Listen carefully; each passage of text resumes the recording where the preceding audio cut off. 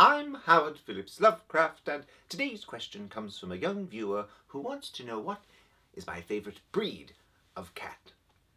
Now, my legal counsel has ad advised me against stating uh, any preferences for any uh, racial categories or discussing breeding in any way, but we have cleared this particular question and it seems that uh, it is safe to answer.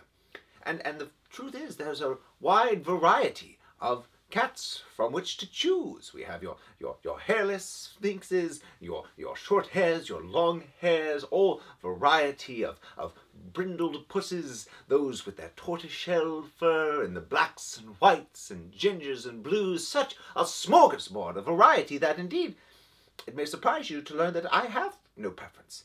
My tastes are rather catholic in this regard. I find all cats of all stripes, or lack thereof, to be equally delightful. Cats are such a gift. They grace us with their dignity, their poise, their sense of style and flair.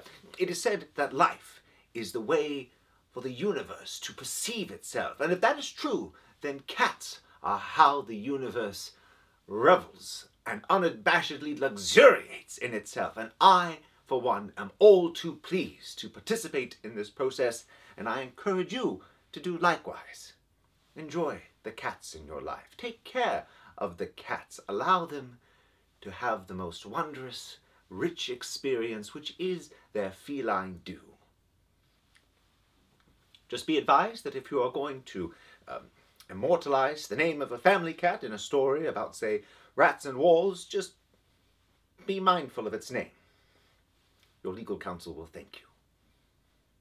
As always, I'm Howard Phillips Lovecraft. Thank you.